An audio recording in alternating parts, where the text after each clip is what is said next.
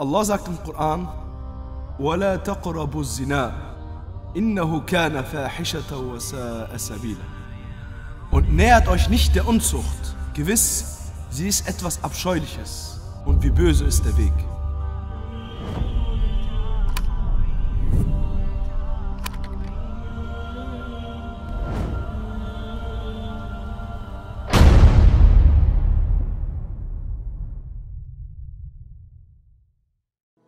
Nähert euch nicht der Unzucht. Sie ist eine abscheuliche Tat. Allah bezeichnet sie als etwas Abscheuliches. Dieser Weg wird böse enden. Wenn du diesen Weg einschlägst, wird er dich zu einem bösen Ende führen. Dieser Weg führt dich niemals zu einem guten Ende. Wala taqrabu zina. Nähert euch nicht der Unzucht. Sinna kann geschehen, wenn jemand verheiratet ist oder Single ist. Lediglich die Strafe für den Verheirateten ist höher als für den Alleinstehenden. Aber in beiden Fällen ist es eine große Sünde. Doch wenn man in diesem Leben bereut, so wird Allah subhanahu wa ta'ala einem Menschen vergeben. Doch wenn man nicht bereut und während dieser Tat stirbt, dann ist die Strafe grauenhaft. Das ist eine Warnung von Allah, damit wir unsere Reinheit bewahren, damit wir unsere Moral bewahren, damit wir unsere Familie, unsere Gemeinschaft und die Gesellschaft davor bewahren. Der Islam ist eine umfassende Lösung.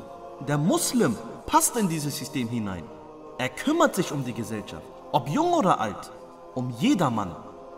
Wir wiederum leben heutzutage in einer Gesellschaft, in welcher sich alles um das Individuum dreht.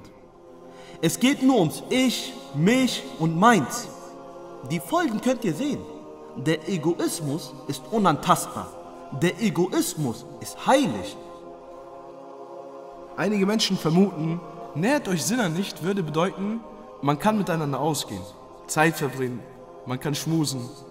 Man darf nur keinen Geschlechtsverkehr haben. Das denken einige. Sie denken, Allah habe das gesagt. Aber wenn man den Vers analysiert, merkt man, dass Allah nicht gesagt hat, begeht kein Sinner. Allah sagt, kommt Sinner nicht nahe. Es gibt einen Unterschied darin, ob man etwas begeht oder sich einer Sache nähert. Manchmal, wenn eine Gefahr besteht, werden Zäune errichtet. Diese Zäune werden weit vor der Gefahrenstelle angebracht. Es gibt Warnschilder und bei großer Gefahr werden Straßen gesperrt und kein Weg führt zur Gefahrenstelle. Je näher man kommt, umso gefährlicher wird es. Nähere dich nicht. Ein Blick bedeutet, sich zu nähern. Eine Berührung bedeutet, sich zu nähern. Ein nettes Wort in Abgeschiedenheit bedeutet, sich zu nähern.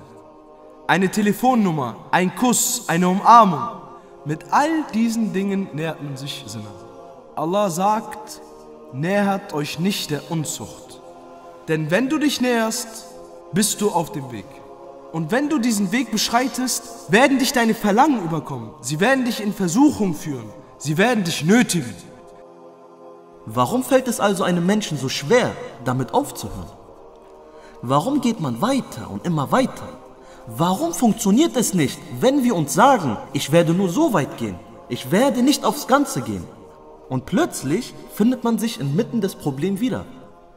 Warum passieren den Menschen solche Dinge? Es ist die Natur des Menschen.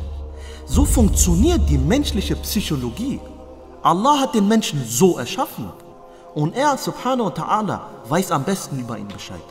Daher sagt Allah, وَلَا تَقْرَبُوا الزِّنَا und nähert euch nicht.